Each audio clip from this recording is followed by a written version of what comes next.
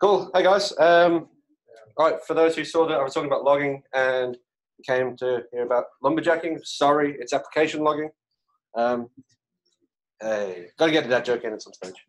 Um, all right. So, uh, hi, my name is Matt. Um, I'm a senior software engineer here at Neto. I'm currently training to be an AWS certified solutions architect. So you're going to see a lot of AWS examples in here, um, just because it's at the very front of my brain at the moment. Um, where you see AWS, AWS solutions, you're also going to, you, you know that there's other solutions out there, so it's not specific to that. All right, let's get straight into it. Um, oh yeah, sorry, I'm late. I was meant to actually do this three months ago, but it coincided with this little diva being born. Um, so I'm not there. Thank you. Oh, I didn't give birth, that was the wife. um, all right, easy mode when it comes to logging. Um, so we all start with a web application. Um, the cubes on the left are, uh, yeah, left. Um, it's probably a LAMP stack, um, could be a cPanel server. All the logs are maintained locally. They're all in the local system. You've got your HTTP access logs, um, your PHP error logs, all going to the one place. Um, and they're all on one instance of a web server. The main part about this slide that I want to mention is according to the 12 factor app, um, Bible, I guess. The log streams aren't the log files. Uh, sorry, the logs aren't the log files. They're the actual stream of logs itself, the data. So that's what I'm going to be referencing is the actual data if you hear me talking about logs. Now, um, different mode. This is, there's some text missing. Of course there is. So let's say you've got several of these instances, um, all different web servers. They could be all different sections of your application. Uh, it could be API, um, web front end, etc. Or they could just be um, duplications of the same instance. You've got log files on each one of these. Again, all on the local system. What you want to do, you don't want to have to SSH into each of these instances um, to find out where something might have gone wrong or get some statistics from the log files. You want one centralized location um, where you can go to to find everything you need. Um, so that's what that is. So what's going on here? This is actually expert mode, not easy mode. Um, each application instance logs to its own file system again, as it was before. The logs are then tailed by um, an agent. Uh, I've got Kinesis here, Flume, Logstream. There's many more. They'll actually tail the log files themselves, and they will ship them off to a centralized location. um, that makes them readily available, but there are some problems with this. Uh, firstly, you've got where you can't see where the log files, uh, where the log lines have been generated from. So you've got all this data and you don't know where they've come from. Also, you've got a lot of different, a uh, lot of data um, all put together from different instances. Um, there could be 100 or 500 instances if your application is that big. And you've got to sift through each log line uh, to find what you need. Um, and there's still chunky log files on these local systems taking up disk space, and they're only getting bigger. So we need some solutions. Let's fix those problems. Firstly, uh, how do you log from a PHP application? I'm not just talking about error logs either. Um, a lot of people, when they think about logging, it's just what went wrong. Um, where are the errors? It's not just that. You can use the uh, logs for statistics. Um, you can find out how many users were on a particular page at one at one point, why that page crashed, um, why the whole application crashed at one point. Logging from a PHP application is easy. Like if you've I'm talking to a lot of PHP people. Um, you've all used um, PHP frameworks. Most of them use Monolog. Um, like yeah, you guys are PHP, whatever. Um, we've got some front end people in here, so ignore them. Um, um, so they've all got a log handler, uh, such as Monolog. I couldn't find any decent, decent other ones to name, so Monolog's it. Um, you can do it yourself. PHP has these built-in functions. OpenLog and syslog will allow you to print syslog themselves itself. Uh, don't do that. Use Monolog. um, don't try and reinvent the wheel. It's just easier to do this. so Monolog. Um, this is basically a log line generated from Monolog. Um, you've got the date time, which it's set um, by the instance, so by the local date time. Um, you've got the channel, which in this case, this, this by the way, um, have you got a pointer on here? Yeah. Oh, so how does that work? That's magical.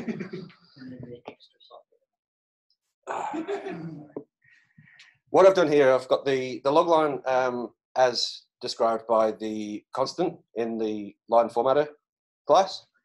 And then I've broken down an actual log line. Um, so you've got the date time, you've got the channel, which is PHP, you've got the level name, uh, which is be warn, error, notice, etc. Then you've got the message, um, in this case, failed to open file. And then you've got the context, uh, which in this case is an exception thrown by Symfony. And then you've got the extras. Now, the reason why I'm talking about logging today is because I was handed the task. Yeah, let's go with that. Um, I was given the opportunity. Um, passionately accepted. I did. Um, to improve how Neto logs stuff, all stuff, um, application stuff. We've got a lot of things. Uh, we, have got a lot going on on this this massive system of ours. We want to know what's going on at all times. We need a 360 degree view of the whole system, and logs are a great way to do that. We've we're a team driven environment, so we've got lots of teams who um, own their own section of the platform and they've each of the, each of those sections have their own entry points into the application itself. So what I've, the first thing I did was I allowed people to be able to tag that entry point, and any logs that are generated from that point onwards, they're printed out at the end in the extras section of the log file. So we're already starting to get that separation of, of logs. Um, I can now find what I need from the sales channel team, for example, just by searching sales channel in the log files. Make, start, slowly start to make things a bit easier. Syslog. Um, it's a beautiful beast. Uh, it does a lot in the back end. It controls the logs for the whole file system, uh, the whole, yeah, the whole file system, the whole um, Linux system. If you're a Windows developer, sorry, um, I'm not going to include anything to do with that. Um, there's still beer over there if you just want to go. Um, all right, so using syslog, we don't we don't want to just print to the local to your web root. You don't want just to find log files in your web root. You're gonna you're gonna it gets messy. So another way to separate here, firstly, you got severity of logs. So we've all seen debug logs, critical logs, errors. You don't. The best way to separate this is look at the environment that you're using. You, the, the production environment is already a messy place. You don't want notices and deprecation warnings appearing in your production logs. Um, so separate them out. You can do that within uh, Monolog, by the way, um, in the configs. Facilities, if you're not facil uh, familiar with facilities, um, it's like a channel. Um, you can tell syslog when it receives data from a certain facility to send it to this destination and that is done here in our rsyslog.conf. So the main things I'm concerned about here are the two bottom entries in rsyslog.conf. These are ones that I've put in myself. I want all the API logs. So I've already told Monolog that I want all the API logs to go to through the local five facility. rsyslog is going to go, cool, I've got that. Now I'm going to save it to var log api.log. Then you've got um, it also gives the ability to send off to uh, remote servers, things like that, so you can process off machine. Um, you've still got these bulky log files. It's just sending, it's just filling the file system up. One of the best tools for this, to fix this, log rotate. Uh, does anyone use log rotate on their systems that, that you know about? Yeah. um, log rotate, um, it's just a cleanup facility. Uh, so this is an example of a log_rotate configuration file for example app. This is going to, the working file that I'm telling it to look at is var varlog api.log. I'm telling it to um, every day move api.log to a different file, stick it, I think it normally puts a date time at the end of it, it appends, uh, appends it with a date time. Compress that file. If, it's, if the file's missing, don't worry about it, carry on. Um, if it's not empty, don't worry, you've got nothing to do. And then restart syslog so that you can recreate the original file so there's no missing file errors later on. The important part of this is the top line, rotate five. This is only going to keep the last five days worth of logs. Everything else, don't care. Dev null. See you later. Um, So now you've only got five days worth of logs. Um, that's great. Your file system's happy. Disk usage, no problem. But what if you need something from 10 days ago? There's a good chance you will. Um, you need to make sure that those files are somewhere else, somewhere stored, again, centrally, that you can access um, and easily format. I'm going to use the example of Kinesis Firehose here as an AWS service. Um, it basically tails the log files. It analyzes a stream of data in real time. Um, so works out what it is that you're sending it, or works out what it is that it's reading, rather. Uh, it forwards the data to a specified place. Um, you set that up in the AWS console, and it automatically formats the data um, and its path as well. So where, when I say it sends the data, you can send it to S3, you can send it to a database, you can send it to EFS or a local file system, a, a shared file system if you want to. The fact is you've got all them all there in one place. And again, you can tell because you've got syslog sending the different files, uh, different logs to different files. You've got your API logs over here. You've got your access logs over there. Um, your front end logs here. You can have a different stream for each of these files. So now you can have an S3 bucket for API logs, an S3 bucket for your front end logs. All right, more and more separation. Um, again, that that coupled with the tags at the end, it's starting to get really simple to find what you want. That's all great. So you've got these massive files, and uh, in S3, all these buckets, they're separated into Hive uh, path format, easy to read, um, but there's still a shitload of them. There's loads of these um, log lines. You want to be able to filter easily. You want to be able to find the data that you want quickly. Right? If, if your system is down, your application's offline, you've got customers trying to access it, you want to know what went wrong. You don't want to sift through thousands of log lines to work it out. You want, uh, you want an answer right away. Here's where the tooling comes in. These are a few um, SaaS and PaaS, mostly PaaS services that you can take advantage of. These are the main ones that Neto takes advantage of. So these are the ones I'm going to talk about. Um, and they're just different ways of seeing your data, seeing your logs. So what would Neto do? What does Neto do now? You're welcome. All these e-commerce instances. Um, so our web front end, pretty much we call e-commerce, um, also cPanel. Anyway, um, we'd have hundreds of these instances, all receiving data, sending data, creating errors, um, all useful stuff, right? All the stuff that we want to see. But we're not going to SSH into any instance. Uh, for one, they're behind a load, um, they're behind an uh, auto scaling group. So you could SSH into one, it's gone seconds later. Um, so we can read these. We've got an agent for Papertrail that picks up the logs instantly. It reads the files, and Papertrail allows you to actually tail these logs live. What makes Papertrail so powerful is its um, filtering. So you can, while you're while you're seeing these, you can live grep the or live filter the logs that you're viewing. So I only want to see sales channel logs type sales channel, done. That's all I'm going to see coming through. Another thing that we use, Datadog.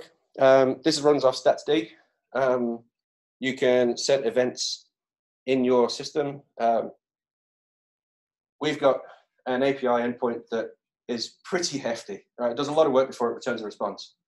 And I want to see how long it's taking to process the records that it's that's required to return. So I'll set a start point, I'll set an endpoint, I'll time the time, the time, the amount of milliseconds it takes between, hopefully milliseconds. um, and I'll send that as data off to StatsD. I can also send how many were processed in tags, how many records were processed in that time. So I can see on a dashboard right next to my desk if there's a spike in, in time that's taken to respond. I can go, shit, I need to fix that. And so we can instantly. This is the Kinesis Firehose um, setup that we've got running. So it's literally this. Like I said before, streams Kinesis streams the data into S3 buckets, separated S3, and then we use. Um, I mentioned Hive formatting before. Um, having Hive, everyone aware what Hive Apache Hive um, formatting is for? No, cool. Hive format's basically separating into directories, directories S3. Um, you've got the year as a folder, then the month, then the day, then the hour. All right, so separation, uh, partitioning of these files. It'll do that um, into S3, so they're nice and easy to find, and partition, and you can read these in Sumo Logic or AWS Athena. So I want to show you how that actually works here. Beyond me demo gods. All right, this is our sales channel dashboard. I'm thankful that there is no sensitive information on here at the moment. I mean, I planned it that way. Um, so this is Sumo Logic. This data is comprised of purely application logs, errors, notices, info, etc., all coming from a production environment. I can see that there, when there's a spike in critical uh, critical logs coming through, I can see the breakdown of what these logs are. I can see that there's six of one and one of another. And if I want to find out more info, I can click into these. And this, can everyone see that all right? Uh, boom, zoom. I'm zooming on Zoom. That's impressive. Um, so it's basically SQL. It's a, it's a query language that you're feeding this, and you can search through all these log files. It's indexed them. It's just, uh, well, I did uh, using a very cool regex that I never want to talk about. Um, it basically partitions these log lines into different columns. So I've got there, I've got channel, uh, the collector, the instance ID, uh, the log message itself, uh, site ID, which is useful to us. And you can filter these, you can search by these, you can do everything that you would do in a normal database, but using the using log lines. Right, log lines are no longer boring greps of a terminal in, inside a terminal. They're now useful. Um, you can count how many certain things have gone wrong within your system. Uh, another way of doing this, oh, get down there, um, is AWS Athena. Am I logged in still? Yes, I am. Um, AWS Athena, I don't know if any of you use this. It does, it's essentially the same thing. Um, I've got application logs here. Um, this is the query that creates the table for my application logs. There's that beautiful regular expression I was talking about. So that all that does is splits the log line into columns. And again, you can search through using what looks like um, SQL. If I want to see the last five critical application logs, I can do that. Um, you can join, you can do what you normally do. Not only that, Athena actually works as a data source as well. So same as you would do a MySQL process, uh, MySQL database, you can log into this. It wouldn't be great for live access in a PHP application, for example. It would be great if you've got old data that you need to recover and export later on. Um, it's a great way to do it. You don't need to keep it all in a local database. Use Athena, it's powerful. And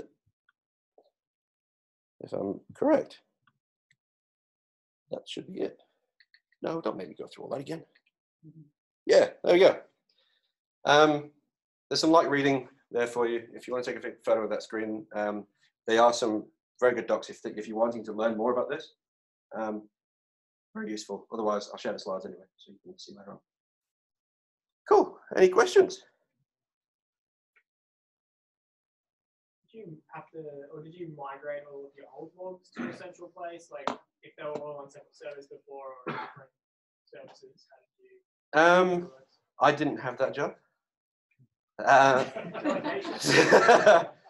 you would, of course. Um, uh, at the likes of Athena and Sumo read from a direct source. So if the files aren't formatted for one, uh, that was another thing that I had to do, sorry, was actually make sure that every single place, every single um, application instance was using the same log, log line format, um, which it wasn't before. So all you'd end up is um, with a load of empty records in the Athena table or whatever that didn't match up to the data that it was expecting. Um, so yeah, you would have to. Um, but it's a very small price to pay for looking after the future. Uh, did you sort of say you essentially can use this for performance monitoring by having a class of ones that just relate to how long certain tasks take, and then you can monitor that? Absolutely. Um, Datadog is fantastic for that. It'll actually um, graph out what you what you've discovered as well. Um, charts, um, anything you need to do, it will format uh, nice and readable. Um, it works. StatsD um, is a service that works. I think it's a UDP uh, fire off, um, and Datadog will pick up on that, and it will analyze the data that it's received. Um, yeah, Datadog. It's super handy for anything like that. Um, timing is the, the timing that you record is just done in PHP anyway. So. So if you didn't yet have a baseline for something new, you can use that to Yeah. see how it typically is, and then the spikes later. That's how we, that's how we use it. Um, you can look over the last month, you can look over, over the last year, or you can just look over the last 24 hours if you want. Um, Yeah, I had a question. How do you manage access? Say, for example, I'm a software developer and then I'm in charge of these systems and now I want to troubleshoot. It's very nicely done and all hierarchical, but how do I troubleshoot as a software developer? So you've written some code and you want to see if it's performing as well as it should be. No, uh, I've written some code and something has gone wrong and I want to troubleshoot. Okay. Um, Yeah. This isn't great for dev environments. Um, so if you're, this is more for up and running applications. No, troubleshoot prod. oh, troubleshoot prod. Yeah, Yeah, troubleshoot prod. exactly 'Cause I want to find out what actually happened. I got the symptoms. Yeah. I I, want to look at what the service said. there's a few different ways you can go about it. Um, like I was saying before, if you've got the um, Papertrail set up with the live log tailing and everything, um, that's the most instant way that you can get feedback on it. You can trigger something. Um, I say instant; it's, as instant as any uh, platform as a service thing would be. Um, you can trigger the event that you think is is blowing up, and you can tell the logs, and you can see the process of what's going on, um, and see where the error comes from if you want to, you can actually add more to those log lines if you want to. So um, if you are writing the code, deploying it, see if it breaks in prod, add a tag or something like that to it. Um, so it's easy to find what, what it is that you're looking for in there.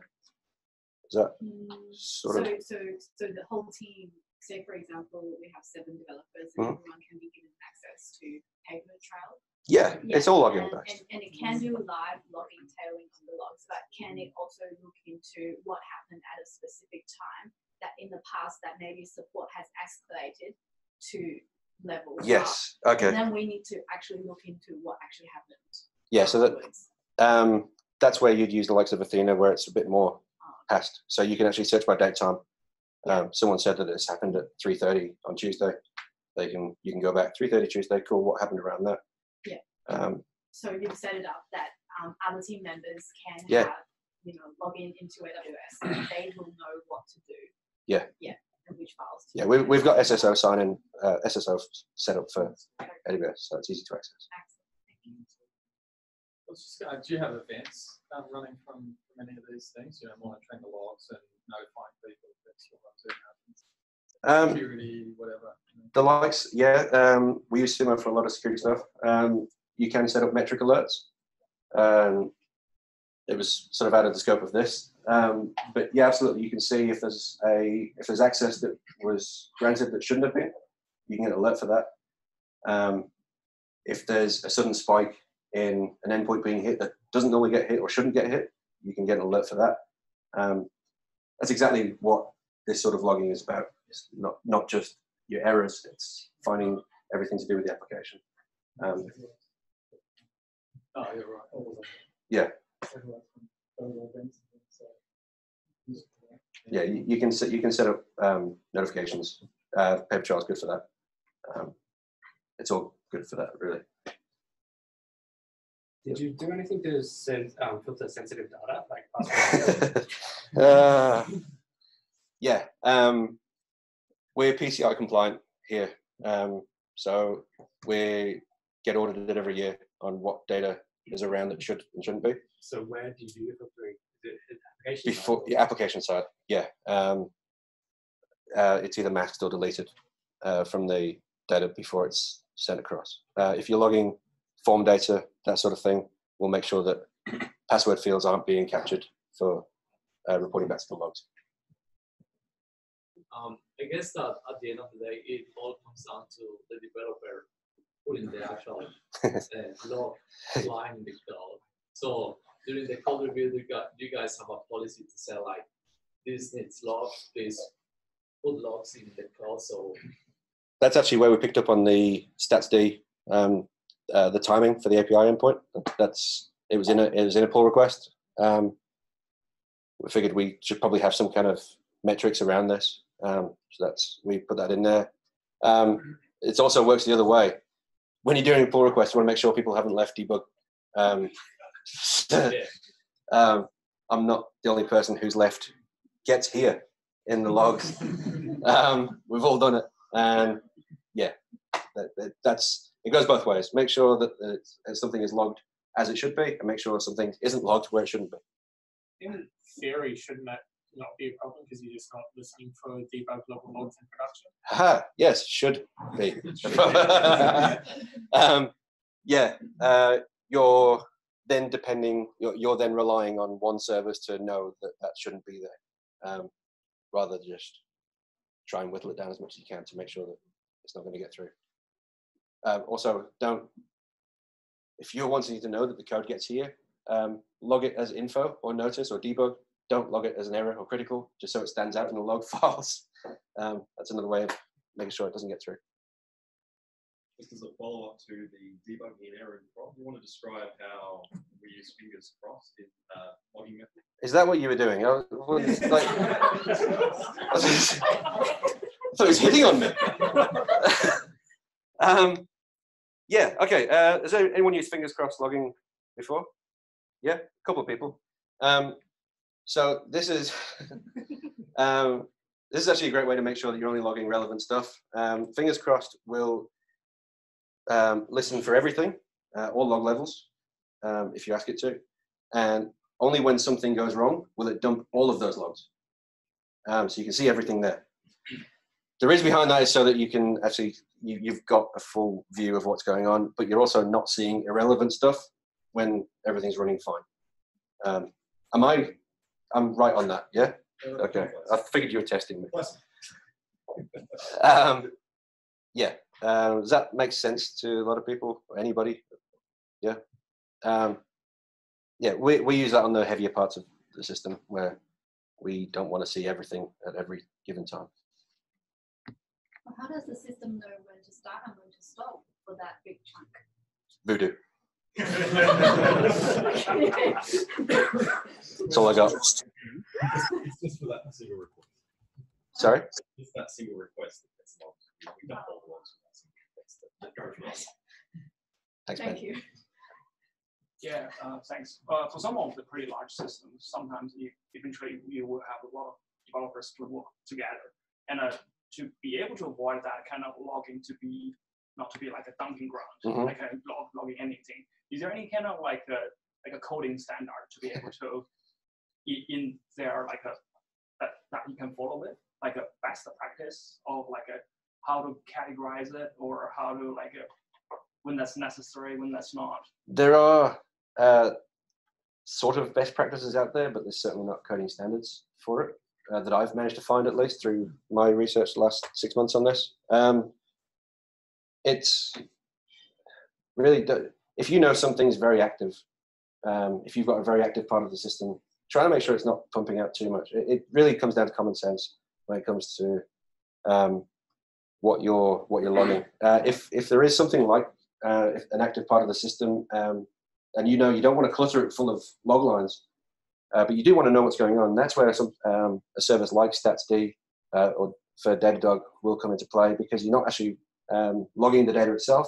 You're firing it off and letting another service deal with it. Um, if you're working across multiple teams, you just got to make sure that they're all ahead of it as well. Um, make sure you're all on the same page. And I'll, I'll just add to that, uh, one metric to watch is cost. As soon as you start consuming SaaS services to consume logging, you will know when you're logging too. Who will tell you this? Who will tell you? that me. So yeah, so basically, you know, one of the motivations for what, the reason why we've gone down, you know, a a pretty comprehensive sort of overview of how we did logging is because the cost of logging for us was was. So, uh, so to get live access to, days and days of logging was costing us thousands of thousands. So part of the motivation for changing the way. Cool. Anything else? Cool. Thanks very much, guys.